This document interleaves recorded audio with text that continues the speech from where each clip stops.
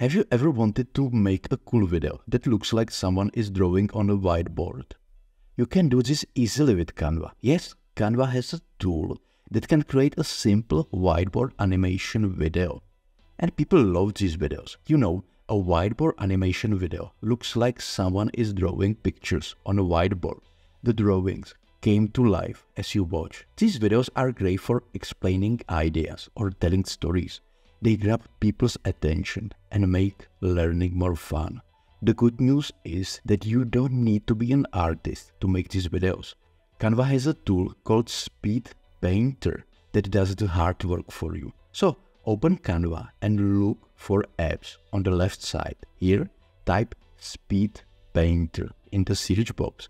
Now click on the Speed Painter icon. If you have never used this app, just accept its terms.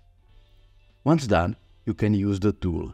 Just pick any picture you want to turn into drawing. I highly recommend to select something simple to get the best results. Now choose how long you want your video to be. I have the best experience with the 3 and 5 second sketch duration. This will make the animation look smooth. You can also enable the fill with color feature, which is great for colored illustrations. The last feature you want to enable is the one that adds the sketching hand to the video. That's all.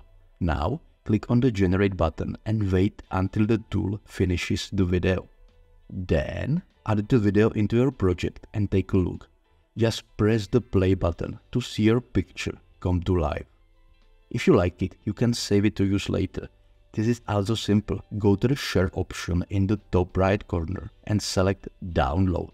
Here, select MP4 as the file format you are downloading and you are done. As you can see, with the right tool, creating a whiteboard animation in Canva can be simple. So, I hope you have found this video helpful. If you want to learn more video editing tricks in Canva, watch the next video and subscribe to the channel.